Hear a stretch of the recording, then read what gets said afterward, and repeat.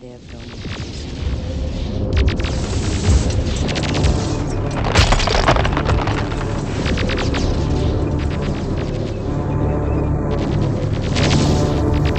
Today we're gonna create a simple rig for the character Wall-E. What's up guys, my name is Raph and this channel is all about 3D animation, VFX, video content creation overall. Today we are going to create an animation rig for the character Wall-E. Now, a quick disclaimer, I don't have anything to do with the movie Wall-E.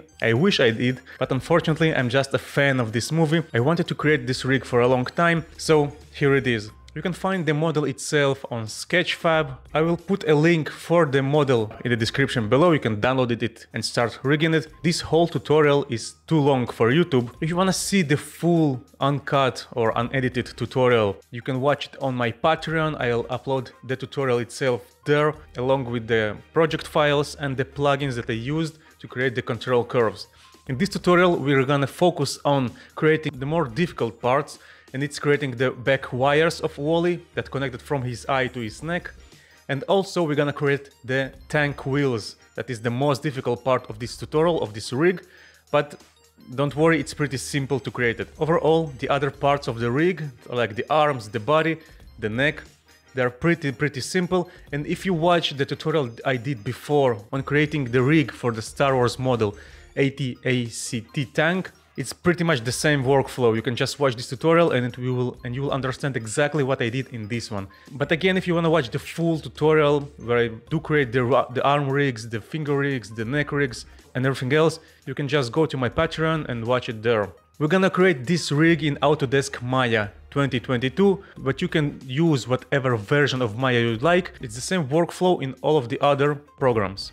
So let's not waste any precious time. Let's open Maya load our model and start rigging. Okay, now we have to rig those wires. So we, here we have to use joints. And how do we create joints exactly in the middle of this wire? It's pretty cool trick I also used in the previous tutorial. You just select one edge, go to deform cluster and, it will create a cluster for you. Go four or five edges next, one, two, three, four, five. It'll create another cluster. Just press G, it will do this the last command you did. One, two, three, four, let's say this, another cluster. Okay, once you're done, all you need to do is to select those clusters, only the clusters in the outliner. Press Ctrl 1, Ctrl 1 to go back to isolate mode only on the clusters. Now we'll create joints. Hold the V button on your keyboard and with the left mouse button just click on the clusters and it will snap the joint exactly to the cluster. Okay, and we can remove the clusters, we don't need them anymore. And we have joints. Let's see, X-ray joints. Okay, so we have joints that will control this part. Now let's select the joint, let's select the mesh itself, go to skin, bind skin, joint hierarchy, everything else it doesn't matter here for this rig, apply. And now whenever one joint move, it moves the wire. Don't forget to press Ctrl S once in a while to save your rig. Okay, so the joints are just controlling the mesh, but we need something to control the joints whenever we move the head control, because the joints won't move by itself. So to do that, we just need to, let's isolate the joints. We just need to create a skeleton IK handle, click on the first joint and click on the last joint and it will create an IK handle. So now check this out. When this IK handle moves, it moves everything here. And the only thing that is left now is just to parent this IK handle. Let's just group it. Now this group with the IK handle should be parented not to the head control but to the eye control. Because whenever the eye moves up, we want it to move the wire. So this part that you see that moves here, it's because the other joints are affecting this part as well. So we just need to remove the, the effects of those joints and leave only the effect of this last joint on this part that should be um, should not move. So select the mesh, go to Windows, General Component Editor, select the vertex mode on F9, select those joints, select those vertices, and let's say those vertices, and here on the smooth skin tab we want only joint 12 to control this part. So just select everything here, press 1 and it will just solve the problem. So now to the trickiest part is creating those wheels. I know that it looks cool that we have those wheels already in place, but we don't need them for now, we will just delete them. And I will tell you why in a second. We just need to leave one part and we will use it later to create instances with MASH. So I'm deleting it and I have this part already located here of the chain. See, it's here, it's zeroed out, it should be exactly in the middle of the scene. And why should it be centered exactly in the middle of the scene? You will see in one second. You need to create this curve. Let's go to side view. This curve is gonna signal the chain parts to be built according to this curve. So we'll see in a second, but it's just a simple NURBS curve that you can create. The most important part is that it will be in the shape you want it to be. So it should cover all of those wheels. When you create this curve, what you need to do is to create a MASH instancer. Let's select our middle chain part that is zeroed out exactly in the middle of our scene. Go to effects, MASH, and create a MASH. So we need an instancer. The distribution type should be linear. We will call it not skulls, wheel, and press apply.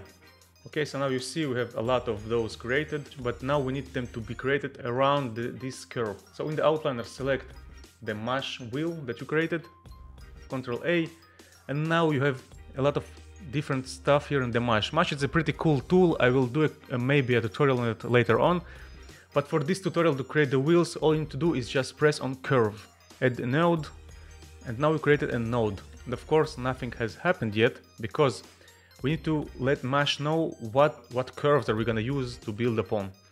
So just select your wheel here and with the middle mouse button drag it into the input curves and voila and you see that MASH is now creating everything on the curve. So now what you need to do is just to play with the parameters here. So and if you see that you have this mess here, go to the, the distribute node and just zero it out. Everything they're doing should be only done on the curve node. Now let's create the wheels. Just play with it until you get the desired. So okay, so once you model the wheel exactly as you want it in the MASH, here is our here is the parameters I use. You can just use the same parameters.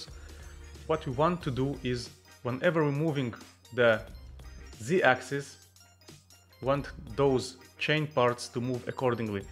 So, Okay, so to connect everything together, we'll just go to Windows, General, Connection Editor. On the reload left, we will select the main control, reload left.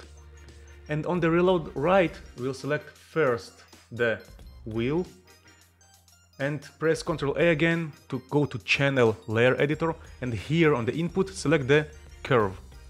Now press reload right and we need to find on the left side translate. Translate z. This is the z axis it's the main control moves on. And on the left side we should find something that is called offset along curve. So just look for it here offset along curve here here it is and select it now we have a connection between translate z and offset along curve so now whenever you move your wheel, oh, I just by mistake did it for the, the other side. Whenever you move the translate Z, everything, the chain will move as well.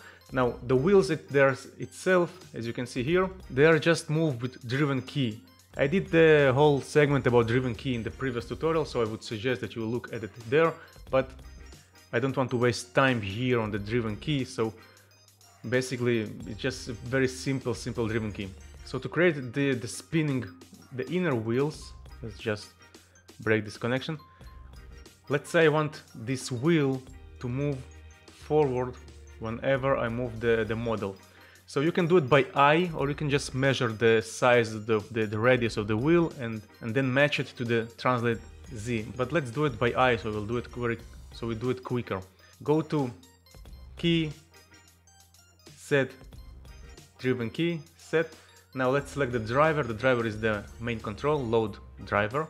And we should select here translate Z. And let's select the wheel load driven. And now whenever I move my translate on the Z axis I want the wheel to spin on the X axis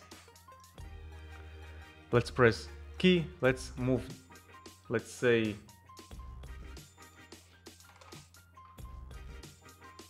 let's say 50 centimeters. And now the wheel should complete a full circle. Press key. Let's test it out and it's spinning. Now the only problem is whenever I move past the 50 mark you see that the wheel doesn't spin anymore. And we can just solve it pretty easily. Select the wheel go to Windows animation graph editor and this is the curve that we created for, with the drawing keys. Just select the curve and press on those two buttons. Those two buttons mean that it will do the same animation for infinity and post and pre cycle. And the only thing that is left is just to select those two keys and make them linearize. We want the wheel to move li linear. We don't want it to speed up and slow down. And now whenever I move the model, it moves limitless. So basically this is the Wall-E rig. It's pretty pretty simple as you see. The only challenging part of course is the, the, the chains and the wire parts, but but they're easily created as well. I hope guys and girls that you liked this tutorial. Let me know if it was too difficult for you, what was the most uh, easiest part and what was the least easiest part. If you have any misunderstandings because of my accent or whatever, or you just didn't understand some of the parts that I did in the rig, please leave a comment below and I will answer your question in the comments. And don't forget to subscribe to my Patreon channel where I will upload more uncut tutorials, more content, more behind the scenes, more project files for you, and basically a longer content that is just not suitable for YouTube. And one last thing, don't forget to subscribe to this channel, it will help me to develop this channel even more and to create more tutorials for you guys. So my name is Raph and I'll see you next time, bye.